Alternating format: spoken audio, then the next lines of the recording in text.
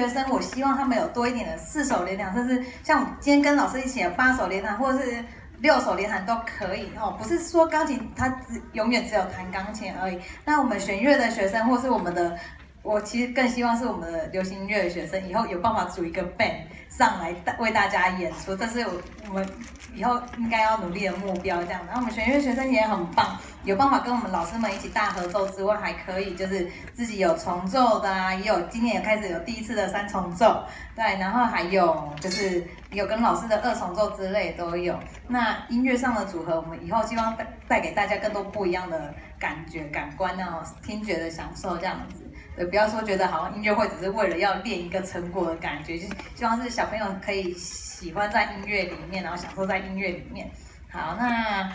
最后那个最主要的，对，还有谁还没有拿到抽奖券吗？